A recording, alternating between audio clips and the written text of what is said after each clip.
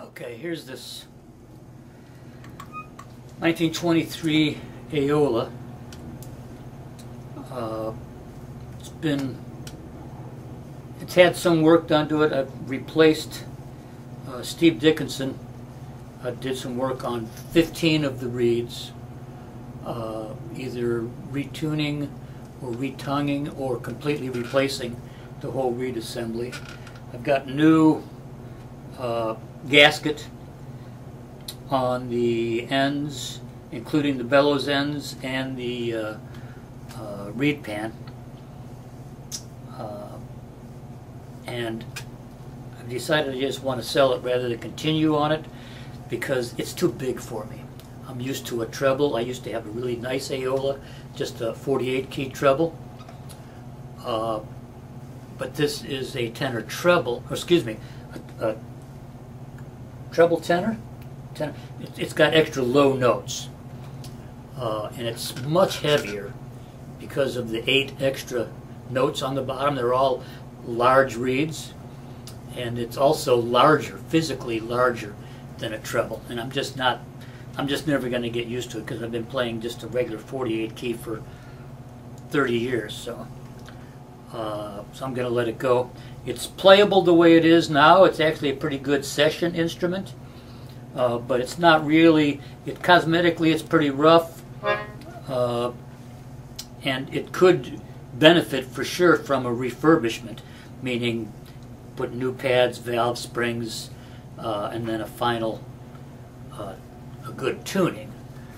But it's good enough to play in a session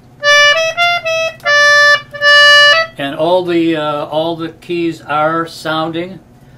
Uh, sometimes you might get a little bit of a uh, a buzzy key or something that's not sounding, but it, it, you know, as with all of these, you need to kind of maybe screw around with them a little bit. But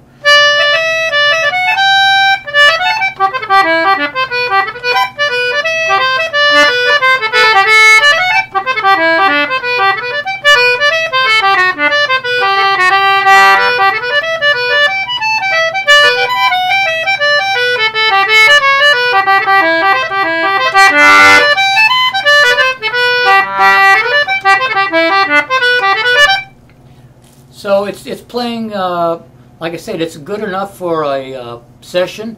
It's a great instrument. I'm going to lower the price. Uh, I've got about 2,500 bucks in it. I don't think it's worth 2,500 bucks uh, to sell it as it is. So I'm going to lower the price substantially, uh, and I'll take any legitimate offers. Uh, it'd be a really nice instrument for somebody who wants to step up from a an accordion reeded concertina to a real concertina with real concertina reeds, plays like a real concertina, sounds like a real concertina. So, uh,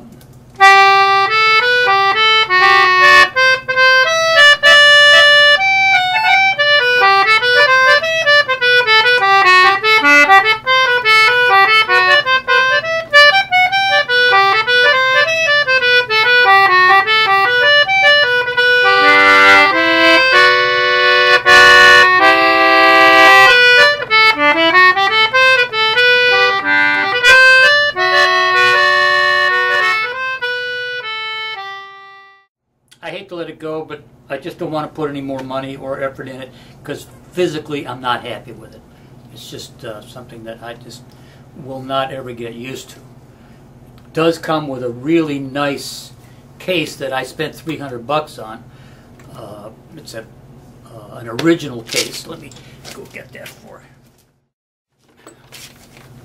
It's an original Wheatstone tenor treble case.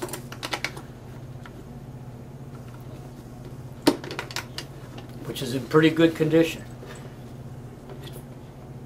The instrument fits perfectly in it because uh, that instrument won't fit in a regular concertina case. It's, uh, it's considerably larger. When I say considerably larger, I don't know the exact measurement. It's probably at least a half an inch or three quarters of an inch wider in all directions.